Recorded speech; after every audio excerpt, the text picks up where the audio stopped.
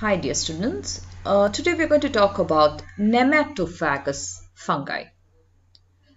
The term nematophagous fungi, of course you can understand it is something, it is a fungi.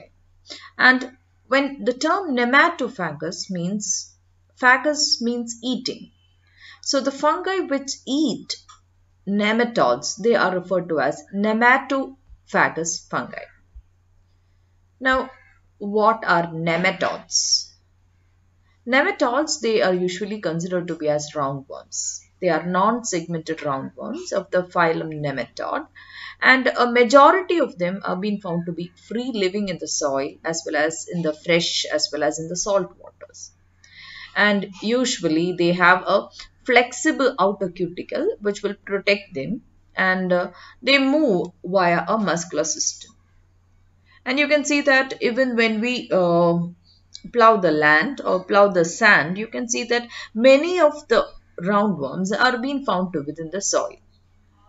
The earthworms and all that also come under the roundworms and we say that they, uh, what? They add fertility to the soil.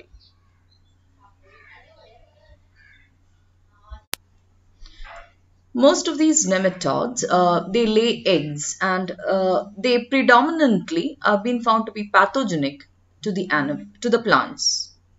And uh, some of them can be considered also as human parasites as well as animal parasites.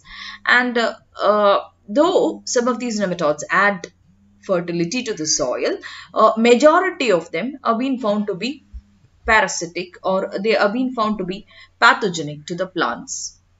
And uh, as a control of these nematodes in the soil, there are also be present certain fungi within the soil. And they are referred to as the nematophagous fungi, which will, those are fungi which will eat the nematodes. Now, if you go to look into the general features of nematodes, they are often referred as roundworms, as we had mentioned earlier, but uh, they are not closely related to the true worms and they are being found to be multicellular insects with a smooth unsegmented body. These nematode species, they usually feed on the plants and they are so tiny that we need to see a microscope uh, to see them. And the adults often look long and slender, although some species appear to be pear-shaped. And these plant parasites are not the same as the roundworms as a filarial nematodes that will affect the human body or spread diseases and wreak havoc on the immune system. But they are being found to be a little more uh, different type of varieties which will infect the plants. Now, some nematodes, they feed on the outer surface of the plant while the others will burrow into the tissue of the plants. And soil-dwelling nematodes are the most common culprits uh, and they can cause sometimes damage to the plant roots, stems, foliage as well as the flowers. Now, no matter where they feed, these tiny worms can seriously damage the crops with their sharply pointed mouths puncturing the cell walls. So the real damage occurs when a nematode injects its saliva into the cell from its mouth and then sucks out the cell contents. So the plant cell as such uh, is being parasitized by the by these nematodes. So when the plant is being attacked by these parasitic nematodes, uh, sometimes it might show swelling or sometimes a distorted growth and sometimes also there would be an area of dead tissue. So nematodes, uh, in addition to damaging the plant tissues, they can also carry certain viruses as well as bacterial diseases and inject them into the plants. And the feeding wounds they make also provide an easy entrance points for various other bacteria and fungi also. So there arise an essential need to control these parasitic nematodes which grow on the plants unless and until they are being controlled, the plant tissue or the growth of the plant will get affected. And it's here that the process of nematophagy comes into play. Nematophagy is nothing eating of nematodes by the fungi. And there could be different fungi. There could be predaceous fungi, which will, you know what is predation.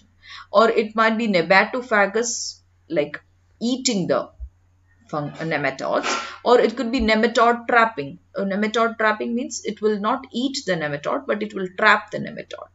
So all these fungi which will help in the control of nematodes uh, in different manners have been studied here and nematophagous means the one which can eat the, the fungi which can eat the nematodes. The fungi will usually mechanically attack and as well as kill the worms resulting in the conception of the particular worm. They, these fungi are being found to be microfungi as we mentioned earlier. They can they will capture it, kill it and sometimes even digest the nematodes and they use specialized uh, mycelial structures. Now, for example, some traps, they, we refer them to as traps or spores, which will trap these vermiform nematodes or the hyphal tips uh, to attack the nematode eggs and cysts before penetration into the nematode cuticle, invasion and digestion. And you can see that uh, more than 200 species of fungi have been found to be known and they differ in their saprophytic as well as in their parasitic ability. Although many of the trap forming as well as the egg parasiting fungi can survive in the soil saprophytically, the endoparasites are most more dependent on the nematodes as nutrients. And many of these nematophagous fungi are been found to be obligate parasites of the nematodes and majority of them are being considered to be facultatively saprophytic and uh, they have been used for the biological control of plant parasitic nematodes.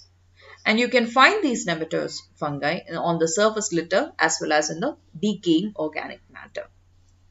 Uh, there are certain examples. See, these are some examples. This is Stropharia rugose, rugose and annulata and uh, this is Coprinus comatus, etc. These are all some nematophagous fungi which we come across.